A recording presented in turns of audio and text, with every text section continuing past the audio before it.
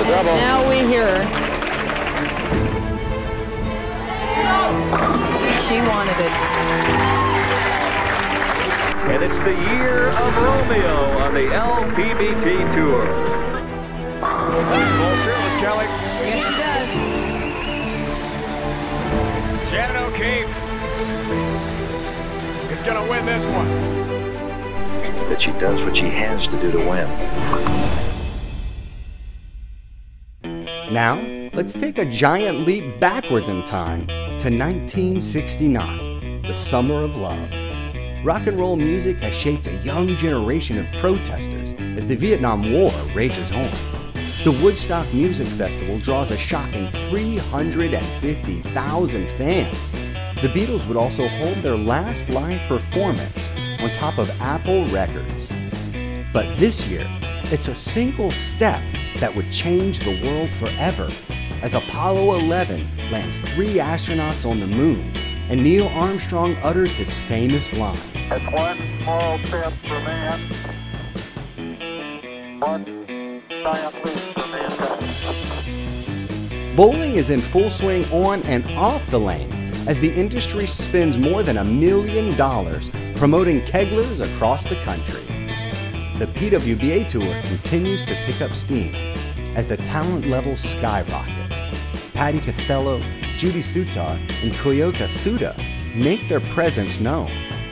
But a five-foot firecracker from Attleboro, Massachusetts is determined to prove that her 1968 Player of the Year campaign isn't a flash in the pan. That bowler is Dottie Fothergill.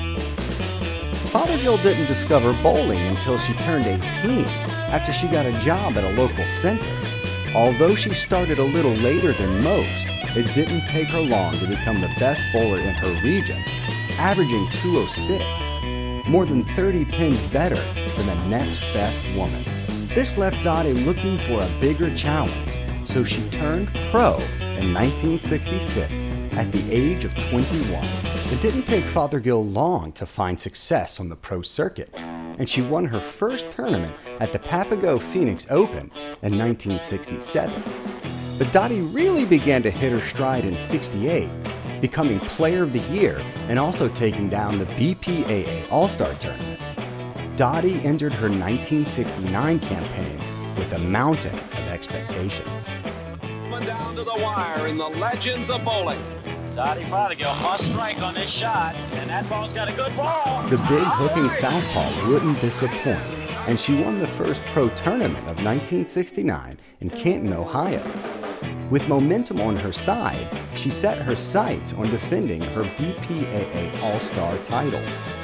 After a fiercely competitive tournament, Fothergill would emerge victorious over Japan's Koyoka Suda, only beating her by 26 pins.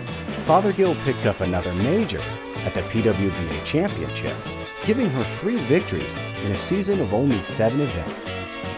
She would eclipse $20,000 in a year the average house only cost 15. She was awarded a second consecutive Player of the Year award, becoming one of the most dominant players of the 1960s. Dottie Fothergill was elected to the WIBC Hall of Fame in 1980 and the PWBA Hall of Fame in 1995. Today, we celebrate her 1969 campaign as the 18th greatest season in PWBA history.